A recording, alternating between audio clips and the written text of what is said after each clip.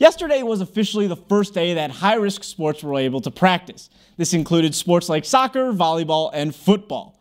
The Rhinelander football team did not practice yesterday and instead handed out equipment, so today was officially their first time practicing.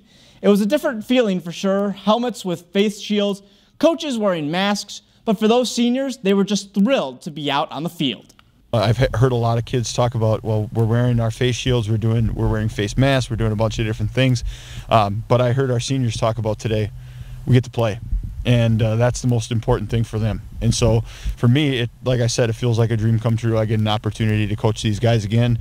And while they are thrilled to be back out on the football field, they understand that football isn't the most important thing right now. Of course, they want to win every game, but what they truly want is growth.